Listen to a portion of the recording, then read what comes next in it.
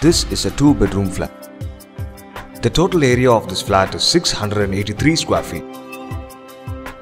The living, dining and bedrooms will flaunt floorings with vitrified tiles. The walls will be coated with premium emulsion paint. The kitchen counters will be made of granite with stainless steel sink. The bathrooms will be fitted with standard sanitary ware, equipped with chromium-plated bath fittings and the walls will flaunt with glazed tile dado up to 7 feet high.